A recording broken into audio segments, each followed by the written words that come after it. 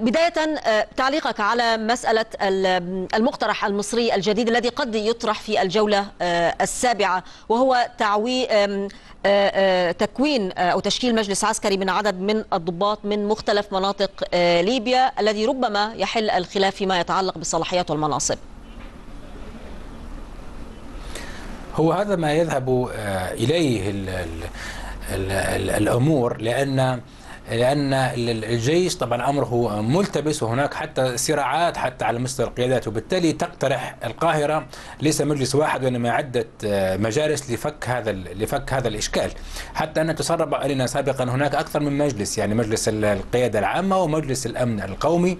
وبالتالي هناك توزيع للاختصاصات داخل هذه المجالس لإرضاء أكبر قدر ممكن من العسكريين وبالتالي يمكن ساعتها أن تمضي هذه المؤسسة موحدة على مستوى ليبيا. ولكن mean, الأمر المهم جدا أنه المؤسسة العسكرية إذا ما توحدت في ظل الظروف الحالية فإن توحدها يظل بلا قيمة كبيرة لأن الحكومة اولا غير موحدة هناك حكومتان في البلد.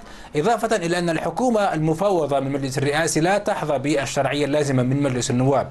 وبالتالي يمكن أنت أن تعترض حتى المؤسسة العسكرية عن كيف يريدون منها أن تتبع تتبع السلطة المدنية والسلطة المدنية غير شرعية أو غير مشرعنة وهي مفوضة بالتالي انتهاء الأزمة السياسية بالتوازي مع انتهاء الأزمة مم. الأمنية هذا واجب جدا يعني يعني هل ولا بد من أن يؤخذ فيه ولكن هل هذا يعني هل يمكن تحقيق ذلك؟ ضيفي قال لكي تكتمل خطوة تكوين المجلس العسكري لابد من توحيد المؤسسات الحكومية، والسؤال الذي يطرحه نفسه الآن أيهما يقود الآخر؟ أيهما يجب العمل عليه أولا توحيد المؤسسات السياسية وتحقيق المصالحة أم توحيد المسألة العسكرية أم يمضي الاثنين في اتجاه واحد وهل هذا بالفعل ممكن؟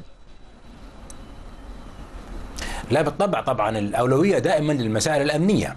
لو اهتم العالم أو حتى البعثة الأممية بالترتيبات الأمنية اللي تشمل أولا معالجة قضية السلاح أو المنتشر في ليبيا معالجة قضية الميليشيات المنتشرة في في ليبيا لكانت انتهت المسألة السياسية من يؤثر على السياسيين؟ ومن يبتزهم؟ ومن يمنعهم حتى من إبداء آرائهم ومن يمنع حتى انعقاد جلساتهم؟ هو هذا السلاح المنتشر في يد الميليشيات وقادتها وغيرها. إذا نحن دائما نطالب بقمة أمنية أو بترتيبات أمنية حقيقية.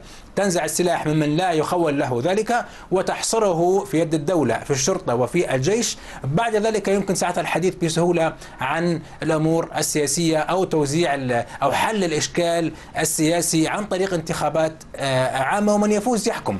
ولكن الآن من يمنع حتى الانتخابات؟ من يمنع إصدار القوانين؟ هو السلاح الموجود في في ليبيا. أعتقد أن البعثة الأممية والعالم أهمل الترتيبات الأمنية بشكل كبير ما أدى بنا إلى ما نحن عليه الآن. الاهتمام بالأمن اولا بنزع السلاح بشكل أو بآخر بإبعاد التأثير الميليشياوي على القرار السياسي ساعتها يمكن أن تنجح المساعي السياسية.